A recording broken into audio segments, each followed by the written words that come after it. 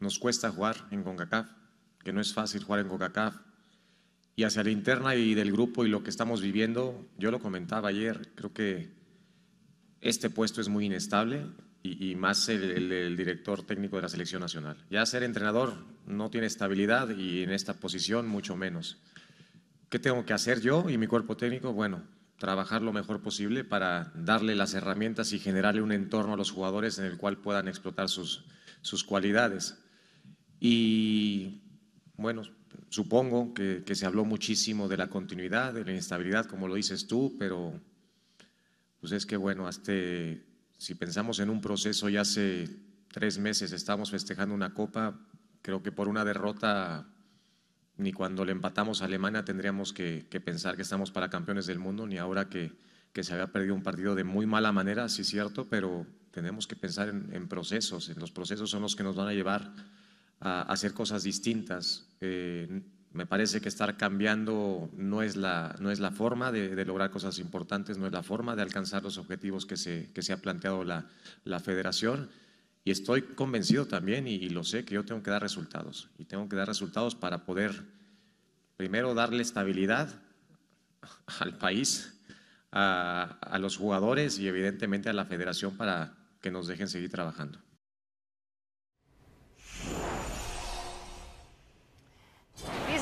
Jaime Lozano, el técnico de la selección mexicana de fútbol, y dice, bien, nos cuesta jugar en CONCACAF. Entonces, ¿cuánto nos costará jugar en CONMEBOL? José Ramón Fernández, la mesa de fútbol picante. Caballeros, muy buenas noches.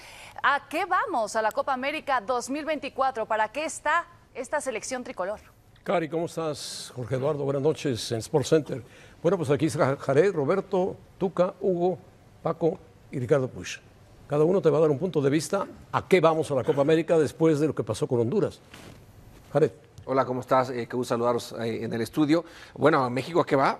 Pues obviamente a tratar de hacer un buen papel. Eh, hoy fue una, serie complicada para México, que se la complicó desde el partido de ida, pero bueno, ya se está en, en la Copa América y a preparar esa Copa de la mejor manera. Hay partidos anteriores a esa Copa y seguramente Jimmy trabajará mucho sobre los las cosas que sucedieron contra, contra Honduras, eh, ni tampoco es la realidad de México en esta serie contra Honduras, como tampoco es la realidad de México en el partido que juega contra, contra Alemania. Creo que todos sabemos exactamente. ¿Cuál es la realidad de México?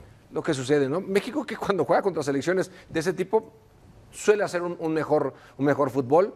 Eh, pero más allá de eso, creo que México tiene que mejorar mucho todavía en lo colectivo e individualmente muchos jugadores tendrán que elevar su nivel. Porque el tiempo se va cortando, viene la Nations League, la Copa América y después viene el Mundial, Roberto. Sí, buenas noches. A la Copa América, bueno, irán a tratar de competir, tienen con qué, si reflejan cabalmente lo que puede ser eh, la selección mexicana, el máximo representante de nuestro fútbol, con sus limitaciones. Y me imagino que irán a disfrutar, a tratar de aprovechar un roce futbolístico que le hace mucha falta a nuestro fútbol. Un roce futbolístico de otro nivel. A las 10, los 10 equipos de la Conmebol, 10, sí. y 6 de CONCACAF. Tuca. Sí, naturalmente México va a tener otra vez la oportunidad de codearse contra equipos fuertes. Y cuando se hizo el nivel futbolístico mexicano aumentó muchísimo y ya no nos preocupábamos por CONCACAF, ya era una situación muy superior al momento que nos dejamos de participar, pues se vino abajo. Hemos dado paso para atrás, para atrás, para atrás. Hoy estamos estancados totalmente futbolísticamente y yo creo que esta oportunidad es muy grande y ojalá la aprovechemos al máximo. Me acuerdo muy bien la primera vez que se participó en una Copa América con un subcampeonato contra Argentina. 93. ¿Verdad? Y de ahí para adelante México creció futbolísticamente enormidad. Y el momento que dejamos de participar en este tipo de torneo con sudamericanos, yo creo que nos ha costado. En Libertadores y en selección, ¿no? Exacto, sudamericana también de todo esto. Yo creo que ahí bajó mucho nuestro nivel. Bueno, Hugo, ¿qué te deja el triunfo de México? Pues me deja contento de que se ha cumplido la misión de participar en la Copa América, que es eh, lo que se deseaba y quería. Y va México a competir a la Copa América, va a mostrar eh, lo que eh, hay en el fútbol mexicano, más bien los directivos se van a dar cuenta qué nivel hay en la selección nacional con jugadores mexicanos porque así han querido que esté el nivel de la selección mexicana. Porque no hemos participado en Libertadores, Copa Sudamericana y Copa América. Ahora empezamos a participar, entonces volvemos otra vez a competir con gente que nos vaya a ayudar a crecer.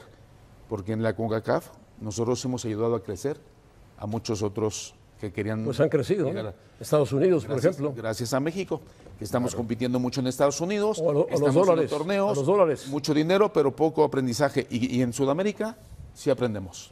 Paco, te recuerdo que hoy perdieron las selecciones Sub-17 y Sub-18 por goleada, una con Mali Sí. y la otra con Inglaterra, 7-1 y 5-6. Sí, bueno, pues esa es. Y son la base de la Y selección. sí, en este caso para mí, aunque tienen su responsabilidad, a los chavos sí los tenemos que analizar de otra manera. Yo creo que la responsabilidad. Pero éramos potencia el sub-17. problema, Pero el problema viene de raíz y, y nos podríamos extender en ese sentido.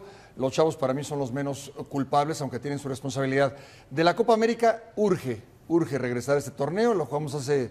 Eh, Y se perdió con Chile 7-0. en el centenario, sí, evidentemente se, le ganó a, a Uruguay, pero bueno, a lo que voy es de que el fútbol mexicano creció y dio un salto de calidad a partir de competir en Libertadores, en Copa América. Y casualmente cuando dejamos de competir... ¿Se ganó la Copa América? Ha ¿Se ganó venido, la ha venido un estancamiento, La- la Copa coincido, sí. que sí. Sí, ha el venido un estancamiento, pero urge para México y O para sea, el ¿Estás de acuerdo con el Tuca que hay un estancamiento? Claro que estoy de acuerdo con el Tuca, estoy de acuerdo, yo creo que todos estaremos de acuerdo. Y retroceso. Y también para el Jimmy creo que es un corte de caja. La Copa América, porque como director técnico tienes que estar normalmente bajo la supervisión, bajo el análisis, porque tienes que obtener resultados. Para el Jimmy Lozano puede ser un corte de caja previo a la Copa del Mundo. ¿Es bueno o malo el corte de caja? es, bueno, ya veremos, de acuerdo a los resultados, lo que muestre el Jimmy y su equipo en la Copa América del 2024. Bueno, Ricardo, terminamos contigo. Eh, nada, creo que, que México se sigue confirmando como lo que ha sido históricamente. Es un equipo de muchos altibajos, incapaz de ser regular. Un día puede competir, a veces incluso ganarle a, a- a selecciones que pocos esperarían que lo hiciera, pero al día siguiente puede sufrir y muchas veces también perder partidos increíbles o, o- que nadie hubiera presupuestado que lo hiciera. Creo que hoy México es más voluntad que juego, lo confirma hoy en la victoria contra Honduras. Y el año que viene, pues tratará de ver si es capaz de, encontrar cierta consistencia en su juego, cierta regularidad. No tiene elementos históricos a los cuales agarrarse. México seguirá dependiendo de- de- de- del partido a partido y del resultado, que es de lo que ha vivido el fútbol mexicano y que es lo que me, parece lo mantiene en su mismo nivel histórico. ¿no? Bueno, Cari, en pocas palabras, no hay liderazgo. No hay de dónde agarrarse para tener dos o tres líderes que tengan un gran fútbol y empujen a la selección mexicana. Así iremos a competir a la Copa América.